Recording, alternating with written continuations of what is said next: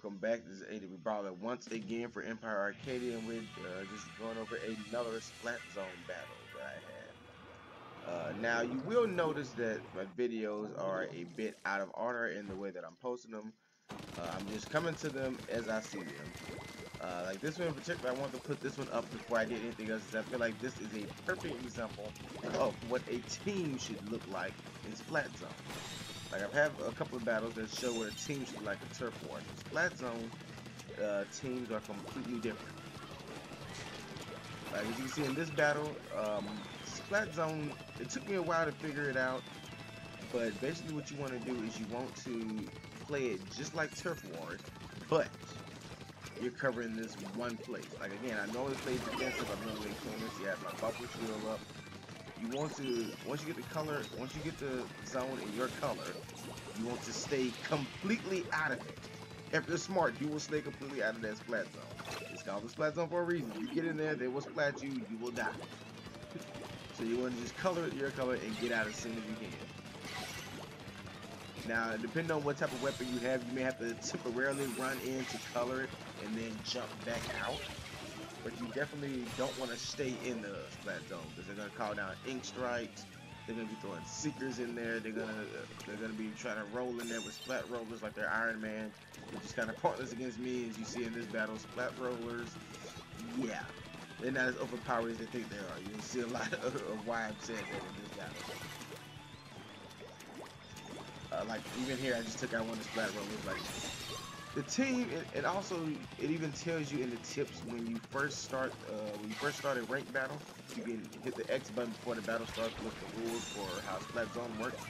And they even give you a, a tip right there telling you that if you die, wait for your team to regroup. Don't run in and try to be a hero. A one-man show is not going to win in Splat Zone. And I sometimes do group with teams that have a lot of one-man shows that go their own way. Uh, you can see by this one that you can see by this one that everyone is sticking together. And you can see the gamepad on here. You can see how everyone's actually sticking together. Like, but even when I've been able to see the gamepad, you see uh, you see me running around attacking these uh, two purple Inklings. I can't see their name anyway. But for the most part, we, we had a buddy system going on for the most part. Wherever you see me, you would see another one. Like I cannot pronounce the name because I I couldn't off the top of my head remember what those uh, kanji symbols mean. Uh, but there's like a, one of the Japanese players. He was right next to me almost all game. I'm like, good, I have a partner with me. And then my other partner who's covering the other splat zone has a partner who's always with him. You want to at least try to keep, when there's more than one splat zone, you want to try to keep at least two people uh, to a zone. You want to keep a group going on. And if you have if you have the ink strike, you want to call the ink strike to clean up uh, to clean up the zone anytime you can. Once it starts getting covered by too much. But if you're doing like me and you're playing with the uh, Splattershot Junior, you have the bubble shield.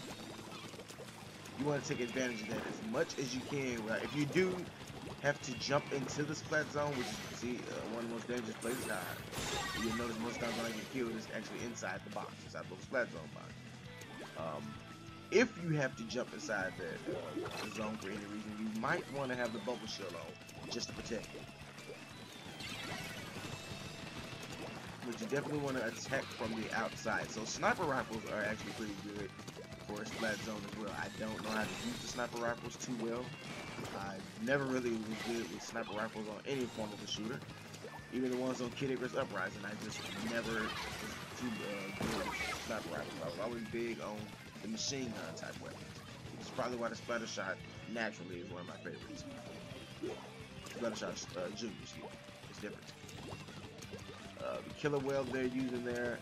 Again, it's all about choosing the right weapon in Splat Zones. You know, you can have the perfect strategy, but the wrong weapon.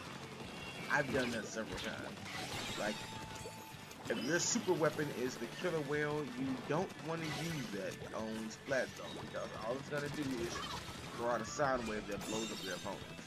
It does not paint the ground, it doesn't do anything to help the Splat Zone, it just kills opponents.